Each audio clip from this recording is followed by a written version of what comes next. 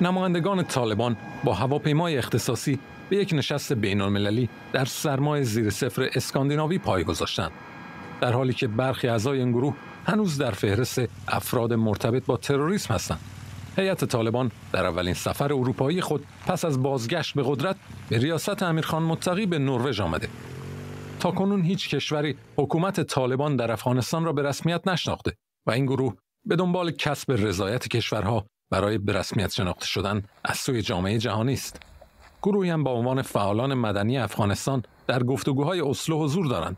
هرچند زنان ساکن افغانستان می‌گویند آنها را به عنوان نماینده واقعی زنان افغان قبول ندارند. ما به عنوان یک خانم متحرز که روزانه در جاده های کابل روبروی طالب می جنگم خانم کروخیل و سراج را به حیث نماینده زن, زن افغانستان در نشست اسلو قبول ندارم. شماری از افغانها در اسلو و همچنین در شهرهای دیگری چون لندن در اعتراض به سفر هیئت طالبان به اسلو تجمع کردند و از جامعه جهانی خواستند که دولت طالبان را به رسمیت نشناسد. وزیر خارجه نروژ می‌گوید برگزاری نشست به معنای به رسمیت شناختن رژیم طالبان نیست. آنیکن هویتفلد تاکید کرده که جامعه جهانی ناگزیر است با گروهی گفتگو کند که حالا بر افغانستان تسلط دارد. تاماس وست نماینده ویژه ایالات متحده در امور افغانستان درباره تشکیل یک نظام سیاسی فراگیر پاسخ به بحرانهای فوری انسانی و اقتصادی، های امنیتی و مبارزه با تروریسم و مسائل مربوط به حقوق بشر به ویژه آموزش دختران و زنان با طالبان گفتگو می کند. وست گفته دولت جو بایدن هیچ برنامه از پیش تعیین شده برای به رسمیت شناختن طالبان ندارد. نشست اسلو در شرایطی برگزار می شود که سرکوب مخالفان به دست طالبان همچنان ادامه دارد. در روزهای گذشته طالبان چندین فعال حقوق زنان در کابل را با یورش به خانه های آنها پس از ضرب و شتم بازداشت کردند.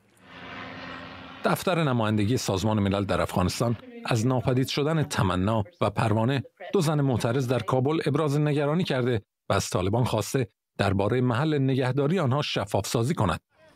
سازمان ملل همچنین هشدار داده که 95 درصد مردم افغانستان غذای کافی برای خوردن ندارند و دست کم یک میلیون کودک افغان با خطر مرگ بر اثر گرسنگی مواجه هستند.